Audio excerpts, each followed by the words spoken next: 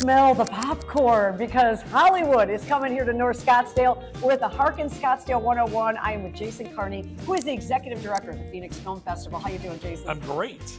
I'm finally getting to see you in person. Last time we were doing this on Zoom. Right, right, right. And we are full on in person for the 23rd annual. Yeah, yeah, Film 23rd Festival? annual. We're, we're gonna we're gonna party like it's 2019. 2019, Yeah, right? Yeah, right. we missed a couple of those Yeah, years yeah. in there. But this one is going to be a big one. You've got some major, major movies. Opening night, this is interesting. The Ray Romano, Laurie Metcalf movie. Yeah, it's so good. Oh man, I mean, and it's his first time directing, right? Right, yeah, but he's still like he's just natural, like like he is an actor. Just like he's just so great in drama roles where he's just a natural actor in the film. Like just has that natural feel.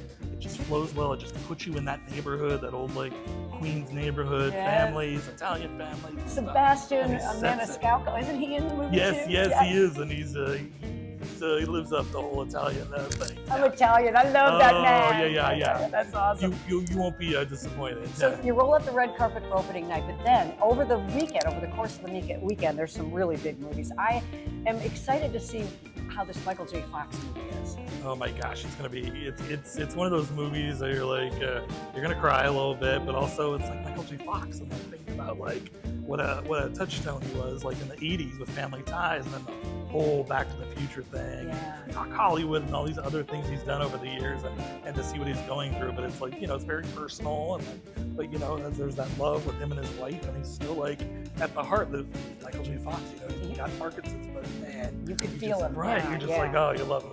It, feels like a Michael J. Fox movie still. And you that know what I mean? stars Tracy Pollan, his Yeah, wife yeah. as well. And Michael's in that movie, if you were wondering. Stephen Curry, this underrated movie looks pretty good. And, and this is a player who was so underrated, so it's kind of a coming of age. Yeah, I mean, he, he wasn't drafted number one at all. And he kind of snuck down. I think he was like number five or six. The Warriors picked him up, and he's probably the greatest shooter ever. Like, he's one of those guys, as soon as he gets across half court, he's going to put it up and he'll make it. And Yeah. so you got to guard him. But, like, he's just such a great person. He and his wife do so many great things. And, like, hearing about his upbringing and where he came from, and he went to Davidson uh, University. And so it's, it's a really cool film. So there's a lot of him. I mean, he's talking Oh, a lot. in all this. about It's him, all yeah. him. It's all him talking and, Yeah, and like a lot of interviews with him and his family and stuff like that. a lot of basketball clips, a lot of those uh, great shots Yeah. he makes.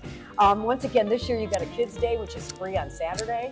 Yeah, absolutely. First Saturday, uh, that's uh, uh, trying to remember what month it is. March. yeah, it's right. March.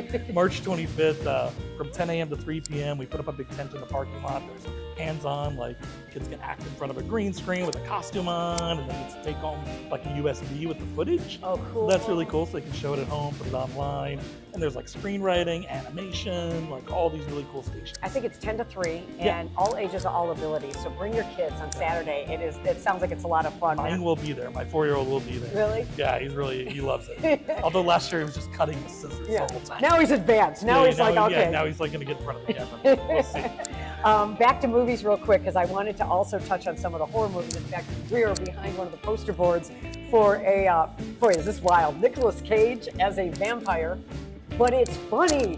Yeah, it's so great. It's like uh, you know, it's more comedy than horror, but it's got those horror elements, and you know, we're like, oh, Nicolas Cage should have been a vampire forever ago, I right? know, I But it's like a, it's a comedy. It's about like almost like a workplace thing where this guy's trying to like Nicolas Cage is his boss, and he's trying to figure out how he can separate. and he's got to bring him victims. Right. It's And a trip. And yeah, it- it's so good. It's our closing night movie. That's what I was going to ask you. That's deal. closing night, so that is a big deal. Are tickets still available for that? Yeah, yeah, absolutely. You can see it before it's released in theaters. Yeah, which is in April, I think. Just watch the trailer. Trust me, you're going to want to come this Sunday and see this movie. It's totally wild. And since we're talking vampires, um, you're going to see a lot, well, some actors and filmmakers here. One of those actresses is Anna Camp. Oh yeah, yeah, yeah. We have the uh, she's in a horror movie called uh, From Black, Yeah. and it's the world premiere. It's going to be the only festival that they screen on before it comes out. Uh, it's picked up by AMC Plus and Shudder. It's going to be released soon, but we were the only festival to show it. It's directed by a uh, former uh, festival alum, Thomas Marchese. It's his first uh, narrative. He made a documentary a few years back, and and it's great. This movie's really great. It's great to see Anna Camp like stretch and you know be, be a dramatic actor, even though it has like horror elements. Yeah. Like her dramatic skills are just off the hook. And if you ever saw her on True Blood, which is where I made that vampire connection, she was so She was so good in that movie. She was like you wanted, you loved to hate her. That's kind of that character. But now she's got dark hair and it's Yeah, crazy. She doesn't even look like herself. Right? No, yeah, yeah. Or at least the girl, the, the actress from that. Um, so it's going to start on Thursday. It runs through Sunday, and um, it is always such a great, well put together event. I feel like we should talk about one more movie. I'm going to spring it on you. I know Yeah. it's called Spinning Gold. It's about the start of Casablanca Records in the 70s. You Oh, know, this they is right up out, my right, alley. They busted out Kiss and Village People, Gladys Knight. Uh, Donna Summer, like all came out of this independent music uh, studio, and it has like a bunch of young performers, like uh, uh, Jason Derulo Wiz Khalifa's in it, and Jeremy Jordan plays the, the record executive, and it's really fantastic. It's really exciting. It plays the first Friday, but uh, yeah, I thought, uh, with, especially with Kiss, Right. it's great. Oh, I should have been all over that to I think the with. uh, the actor that plays, I think Ace Frehley is a local local actor. You know, That's locally. So yeah, it's really cool. Okay, so we should have started with that, I but know. anyway, it's okay. It's just there's 200 plus movies, so how do you possibly keep track? Uh, you go to the website, right? Right? Go to phoenixfilmfestival.com. You can see all the films, the schedule, word about the parties. Uh, you can watch trailers, everything you want to know about the festival.